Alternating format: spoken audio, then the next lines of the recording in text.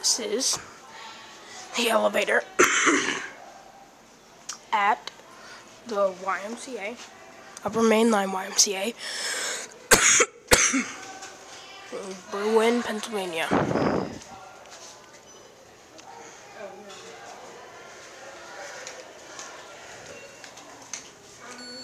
Thinking it'd be busy at times, but I got it early in the morning since I had swim team practice here.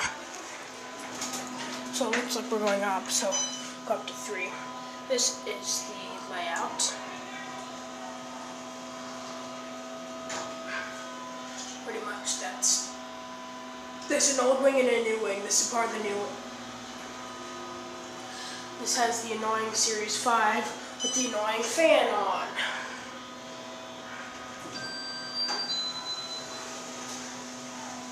Then we'll go down to B. B is just for storage, basement, you know. Otis, elevator number one. Main elevator. The other one only serves A and then the locker room floors, which are above and below it, that don't connect to these floors. And elevator number two, uh, A is floor one because it's the main floor. Even though the main floor here is two, since entrance, two. Now I bet that we'll stop at like at least one floor on the way up. And, well, I mean, this is the time of day where like little kids will want to go to the pool and stuff. So we might stop at A. Alright, let's see if it goes anywhere. Yep. Hydraulics are starting. Nope. Stopping at A. So, up to three. Going up. Yeah. I'm going in two. Two. Thank you. Are you the elevator operator?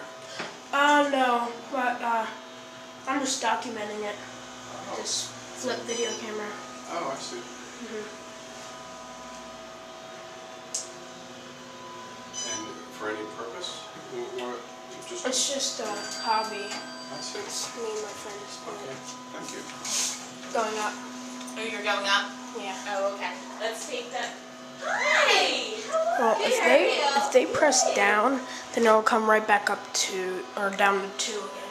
It's just a quick cab view. No one really cares if I'm filming this a YMCA and they really don't care. Now, this is something that you don't see in an elevator often. A nice bench.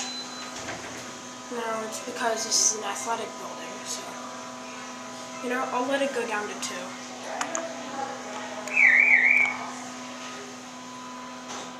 Here's the phone. Since it is California, but these are just flush, uh, it actually is pressed a lot. There's a cleaning lady that has like this thing that hangs like a key thing, and when she's pressing the button, it always hits that thing. And I've been in it several times with her, so we always have to tell them false alarm. She doesn't know you. Because you're not special enough. Sorry, it's just my space. Oh, there's some swim team kids. I played uh, Marco Polo with them.